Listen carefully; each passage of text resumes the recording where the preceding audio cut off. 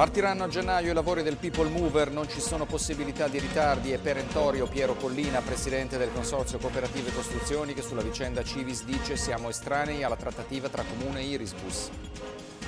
Niente permesso per Anna Maria Franzoni, il Tribunale di Sorveglianza di Bologna respinge la richiesta della mamma di Cogne che sta scontando la condanna a 16 anni nel carcere della Dozza.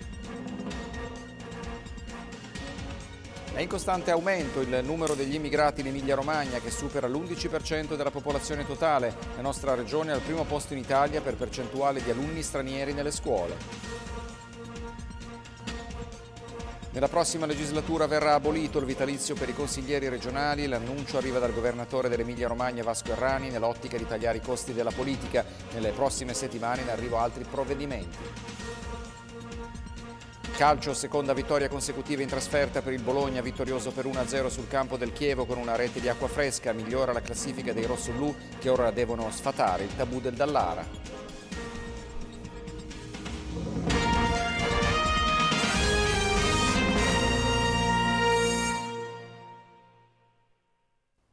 Buonasera a tutti dalla redazione di ETG Bologna. In apertura questa sera parliamo ancora di viabilità e infrastrutture, questa volta non strettamente del Civis che come sappiamo è bloccato e sta ancora suscitando molte molte polemiche, ma parliamo del People Mover perché a gennaio a quanto pare partiranno i lavori. Lo ha assicurato Piero Collina, presidente del Consorzio Cooperative Costruzioni. Non esistono possibilità di ritardi, ha detto Collina, che chiede però anche che si sblocchi proprio la vicenda Civis, il punto nel servizio di Giuseppe Pilloni. A gennaio si comincerà con la fase costruttiva del People Mover, non ci sono possibilità di ritardi. Ad assicurarlo è Piero Collina, presidente del Consorzio Cooperative Costruzioni. Nonostante la Giunta Merola prenda tempo per fare approfondimenti, Collina non ha dubbi e invita a non fare parallelismi con la vicenda Civis. Bisogna affrontare il tema in modo completamente diverso. Questa è un'opera in project financing. Il bando è stato pubblicato, l'appalto è stato assegnato e c'è un progetto esecutivo già definito. Senza contare che il People Mover continua ad essere considerato un'opera importante da parte delle istituzioni, sottolinea il presidente del Consorzio Cooperative Costruzioni. Dunque, assicura Collina, a gennaio si comincerà con la fase costruttiva. Al momento non esistono possibilità di ritardi. E per quanto riguarda il Civis bloccato dal sindaco Mero, la Collina spiega «Noi siamo estranei alla trattativa tra il comune di Bologna e Irisbus. Speriamo vada in porto presto, così sarà possibile riprendere l'attività perché la necessità di riportare lavoro alla gente c'è. Alternative non ce ne sono», aggiunge Collina. Il mercato langue, la ripresa del percorso Civis è importante. Dunque, ribadisce il presidente del Consorzio Costruzioni, se si sbloccano i mezzi si sblocca anche la parte edile. E del Civis si è parlato anche in Commissione Mobilità a Palazzo d'Accursio. Il presidente di ATC, Francesco Sutti, ha riepilogato le tappe della vicenda e parlando dei lavori del Civis ha indicato le responsabilità dei ritardi nell'associazione di imprese che ha vinto l'appalto del Trams Gomma. Di fronte ai consiglieri comunali Sutti ha parlato di ritardo clamoroso della consegna dei progetti esecutivi. Sutti ha anche spiegato che l'erede del Civis si calerà in un sistema di trasporto basato sui filobus e collaborante con il servizio ferroviario ferroviario metropolitano, una rete complessivamente di 138 km e 131 filobus, per la quale i progetti ci sono, ha concluso Sutti. Un primo passo per cercare di diminuire i costi della politica arriva dalle regioni che oggi hanno deciso all'unanimità di abolire il vitalizio, cioè la pensione riservato ai consiglieri regionali. Ad annunciarlo è stato il presidente della conferenza delle regioni, nonché governatore dell'Emilia Romagna, Vasco Errani. Sentiamo. Stop ai vitalizi per i consiglieri regionali già dalla prossima legislatura. La decisione arriva dai diretti interessati. L'abolizione della pensione è stata infatti votata all'unanimità dalla conferenza delle regioni che vede a capo il governatore dell'Emilia Romagna Vasco Errani, d'intesa coi presidenti dei consigli regionali. È un passaggio fondamentale, ha spiegato lo stesso Errani, nel processo di autoriforma dell'istruzione regionale che stiamo portando avanti. L'obiettivo è contenere i costi della politica in una fase così difficile per il Paese, in cui sono sempre più drammatici i tagli ai fondi per il trasporto locale, per non parlare della carenza di risorse da destinare alla protezione civile, alla difesa del suolo, come dimostrano i gravi eventi di questi giorni in Liguria e in Toscana. Le regioni sembrano non volersi fermare qui. Dopo l'annuncio, entro sei mesi dell'abolizione del vitalizio dei consiglieri regionali, nelle prossime settimane ci saranno altre decisioni, sempre nel segno del contenimento dei costi della politica. Porteremo questi elementi alla Commissione paritetica per l'autoriforma dell'istruzione della Repubblica, aggiunge Errani, alla quale chiediamo che almeno alla prima riunione ci sia anche il Presidente del Consiglio. A questo proposito Errani ha sottolineato come i rapporti fra il governo e le regioni abbiano purtroppo un segno negativo. Il governo, ha detto, continua a procedere in modo unilaterale, con atti che, lungi dall'essere coerenti con l'impostazione federalista, creano ulteriori problemi. Un esempio è senza dubbio l'emergenza che riguarda il trasporto pubblico locale. L'esecutivo ha riconosciuto che un taglio del 70% delle risorse, dice Errani, significa non poter garantire un servizio. Aspettiamo le proposte del governo, conclude, per poter dare soluzione a questa questione. Non ci saranno permessi premio per Anna Maria Franzoni. Il Tribunale di Sorveglianza di Bologna ha confermato il no ai permessi richiesti dalla mamma di Cogne, condannata a 16 anni per la morte del figlio Samuele. Il Tribunale ha dichiarato inammissibile il ricorso presentato dai legali della donna contro la decisione del magistrato di respingere la richiesta di permessi premio per poter stare con il marito e i figli fuori dal carcere. La Franzoni, rinchiusa alla Dozza a Bologna dal 2008, ha usufruito di un permesso per i funerali del suocero il 31 agosto del 2010. È stato presentato questa mattina il dossier statistico sull'immigrazione elaborato dalla Caritas in Emilia-Romagna. Il fenomeno è in continua crescita. Tra i dati più importanti la grande incidenza degli alunni stranieri nelle nostre scuole. Sentiamo Simona Iannessa alunni stranieri nelle aule delle nostre scuole, il record che si guadagna l'Emilia Romagna che in quest'ultimo anno ha raggiunto il primato del 14% di immigrati sul totale degli studenti. Aumenta anche l'incidenza dei residenti stranieri sulla popolazione, si attesta all'11,3% mentre si ferma il trend della crescita rispetto agli anni passati. Questo è il quadro che emerge dalla fotografia scattata sulla scuola. L'Emilia Romagna accoglie sui banchi più di 82.500 alunni stranieri. Analizzando i numeri più nel dettaglio si scopre poi che l'incidenza è più alta nella primaria e secondaria di primo grado, siamo intorno al 15%, mentre nei nidi la percentuale di bimbi stranieri si ferma al 9,2%. Altro capitolo importante riguarda il lavoro. In Emilia-Romagna il 19,8% dei lavoratori complessivi è di nazionalità straniere ed è occupata prevalentemente nell'industria, nel settore alberghiero, delle costruzioni, dei servizi alle imprese e dell'agricoltura. I paesi più rappresentati restano la Romania, il Marocco, l'Albania e la Cina. Il 7,5% dell'imprenditoria poi è costituito da giovani stranieri che decidono di mettersi in proprio e tentare la strada del lavoro autonomo. Sul fronte fisco e previdenza è infine meglio sfatare il mito secondo cui gli immigrati rappresentano un onere più che una risorsa per i conti pubblici. Sono l'11,3% dei residenti, ma solo l'1% delle spese di welfare è rivolta a loro, mentre hanno versato oltre 800 milioni di euro di contributi alle rispettive casse previdenziali.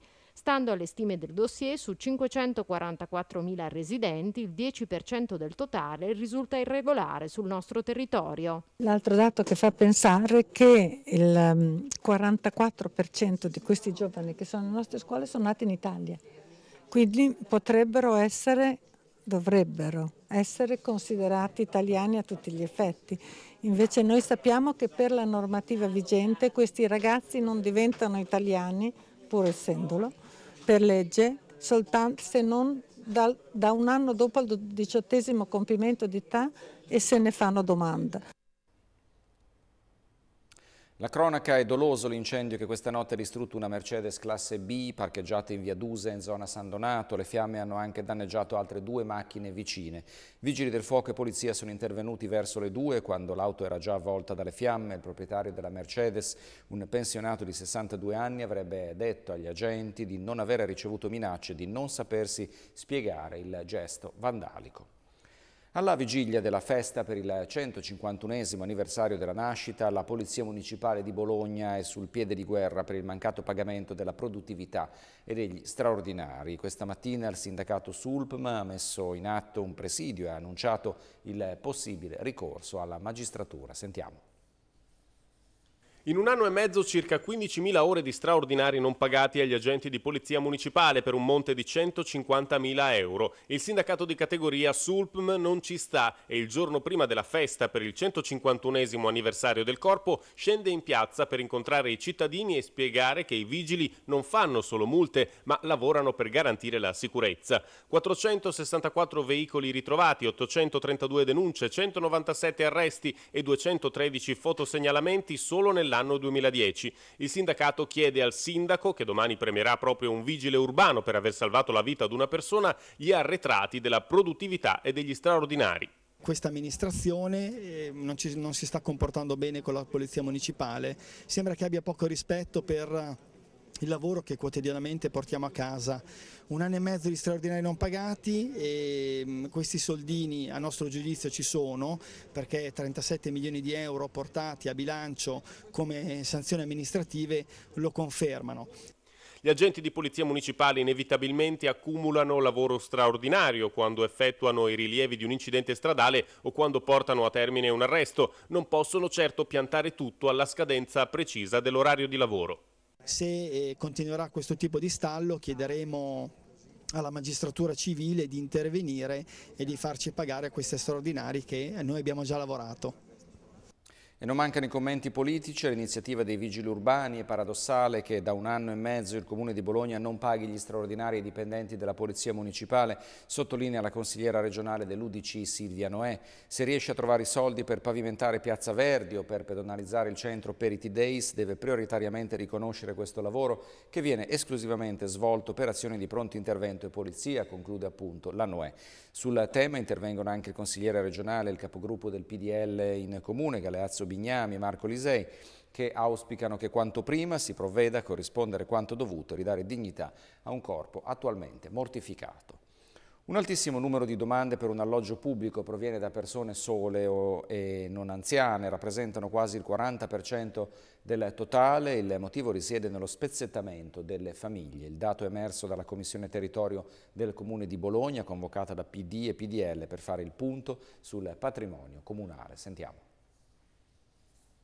Le domande presentate al Comune di Bologna per avere un alloggio popolare sono più di 9.500 con un aumento di quasi il 70% rispetto al 2007. Di queste quasi il 40% proviene da adulti soli, effetto, viene spiegato in Comune, dello spezzettamento delle famiglie. Sono invece in calo 1.600 contro le 2.000 degli scorsi anni le domande per gli alloggi a canone calmirato, segnale questo di uno schiacciamento verso il basso delle situazioni di povertà, ma a sorprendere è l'alto numero delle persone sole, non anziane, che hanno fatto domanda di alloggio pubblico. Il PDL in comune avanza il dubbio che questo dato non corrisponda a realtà. Il sospetto dei berlusconiani di Palazzo da Curzio è che si tratti di persone che risultano separate per guadagnare punteggi in graduatoria, ma nei fatti non lo sono e le verifiche sono oggettivamente difficili. Ma l'ufficio gestione dell'azienda Casa di Bologna replica che in realtà ogni anno vengono compiuti 22.000 controlli e che ogni anno viene fatta una rilevazione su ogni assegnatario per verificare i requisiti di idoneità. La Lega Nord è invece interessata al numero di stranieri titolari di alloggio pubblico.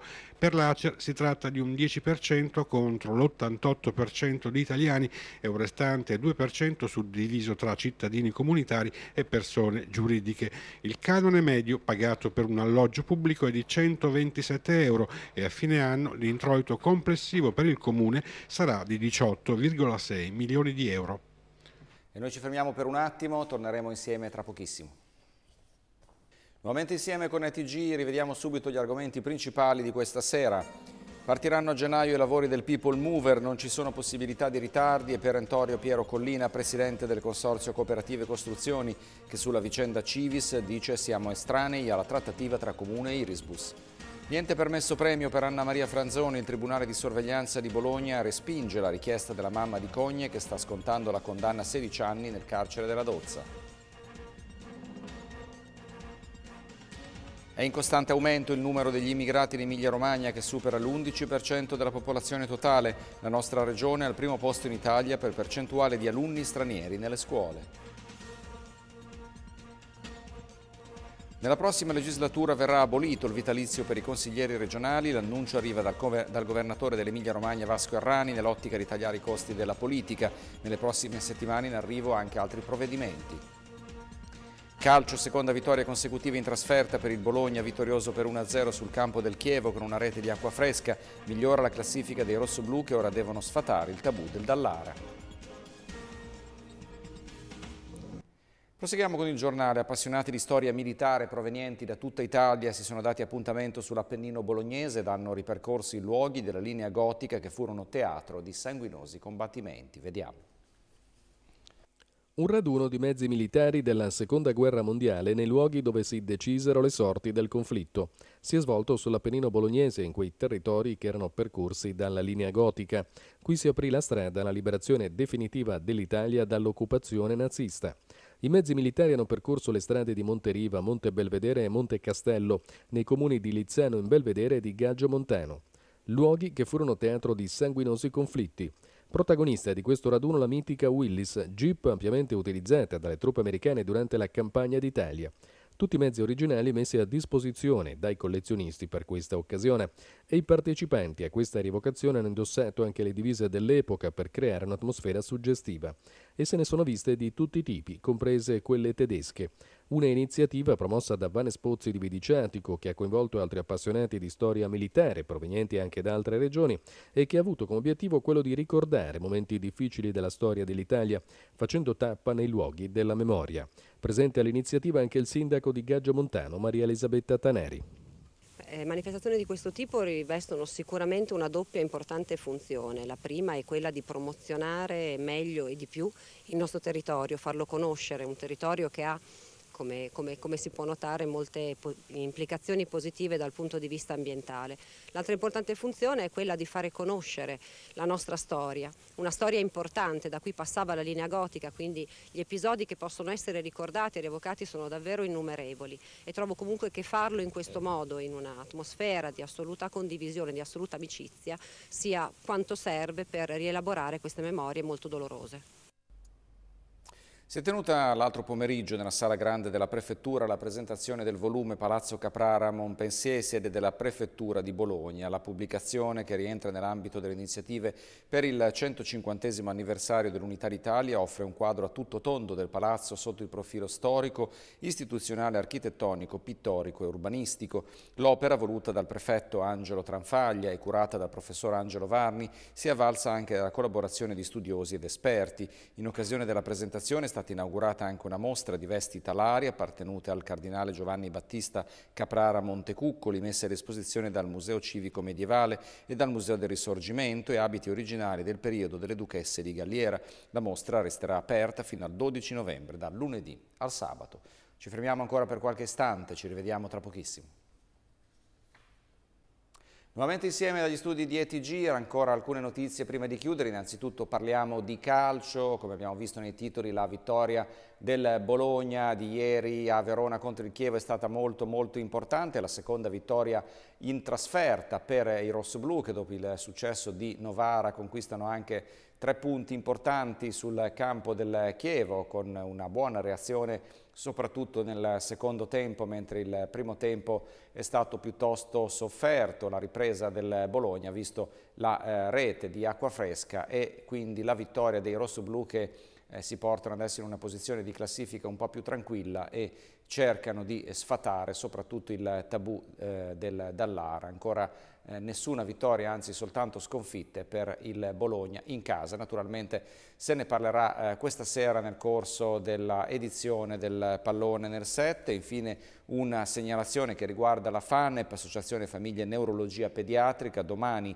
e dopodomani a Villa Gandolfi Pallavicini a Bologna si terrà un convegno nazionale sull'epilessia in età evolutiva. Presiederlo sarà il professor Emilio Franzoni. Sempre la FANEP promuove nei locali di Villa Gandolfi Pallavicini la mostra fotografica Benedetti Teatri che sarà inaugurata domani pomeriggio. Si tratta di un viaggio attraverso i palcoscenici più o meno famosi di Bologna e provincia. Siamo in chiusura, non c'è più tempo, non mi rimane che salutarvi. Grazie per essere stati con noi e buon proseguimento con i programmi di ETV.